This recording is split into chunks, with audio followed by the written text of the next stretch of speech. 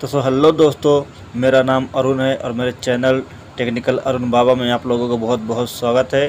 फिर से मैं आ गया एक नई वीडियो के साथ। तो आज मैं बताऊँगा कि अपने खेत का मालिक कौन है या आपने किसी की ज़मीन ले रखी है तो पता कर सकते हैं कि वो ज़मीन आपके नाम हुई कि नहीं हुई या किसी और के नाम हो गई है। तो चलो मैं फटाफट बता देता हूँ और दिखा देता हूँ करके कि कैसे चेक किया जाता है। तो अगर मेरे चैनल पर नए आए हैं दोस्तों तो मेरे चैनल को सब्सक्राइब करके बेल घंटी प्रेस कर दें ताकि कोई सी वीडियो बने तो नोटिफिकेशन आप तक पहले पहुँचे। और मैं हमेशा ऐसी नॉलेजफुल टेक्निक वीडियो बनाता रहता हूँ यूट्यूब से रिलेटेड तो चलो फटाफट चलते हैं। तो दोस्तों, उसको देखने के लिए, अपने खेत को देखने के लिए किसके नाम किसके नाम नहीं है तो हमें जाना होगा गूगल पर। गूगल पर जाने के बाद सर्च करना है भूलेख यानी ज़मीन, ठीक है? तो यहाँ पे आप देख सकते हैं, लिखा हुआ है भूलेख इस पर क्लिक कर दूँगा, आप आप टाइपिंग कर सकते हैं। और पहले ऑप्शन पर क्लिक कर देना है। कुछ ऐसा इंटरफेस खुल जाएगा तो आप देख सकते हैं, यहाँ पे बोल रहा है कि सिलेक्ट जनपद चुने, ठीक है? तो जनपद में मतलब कि आप समझ रहे होंगे, ज़िला होता है तो यहाँ पर सेलेक्ट कर देना है। तो मैं रायबरेली से हूँ तो मैं रायबरेली यहाँ से सिलेक्ट कर लूँगा। मैंने रायबरेली सेलेक्ट कर लिया। और कह रहा है तहसील चुन लीजिए, जो ब्लॉक लगता है। तो तहसील है सलोन।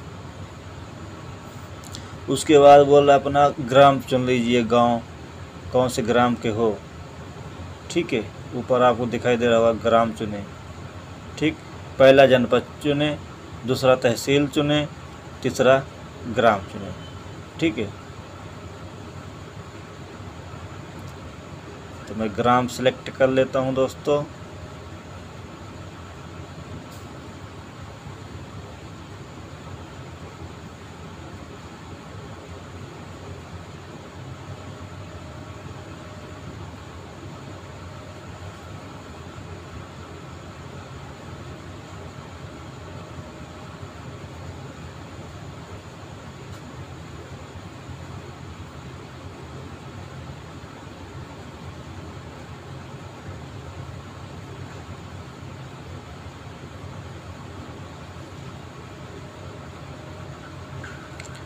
तो मैं अपना ग्राम चुन लिया दोस्तों।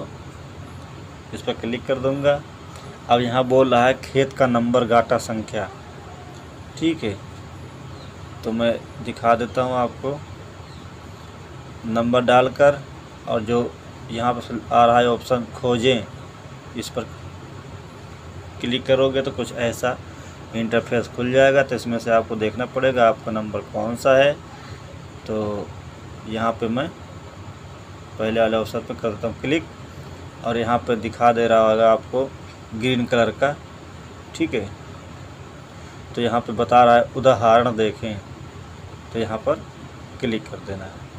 तो सिंपल सा यहाँ पे कैप्चा भरने के लिए आ रहा था, जो ऊपर लिखा हुआ है five V eight N F के तो इसको यहाँ पे डाल देना है कैप्चा में।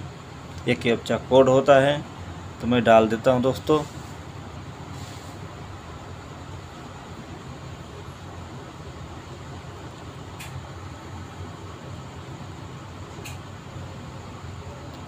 ये शायद दोस्तों वी नहीं है यू है तो यू डाल दूँगा मैं।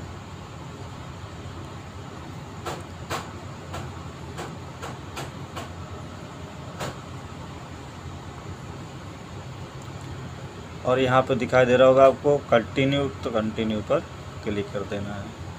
तो खुलकर दोस्तों ऐसा अपना खेत का आ जाएगा। यहाँ पे देख लग सकते हैं, नाम बता रहा है कमलेश मंगरे। ठीक है।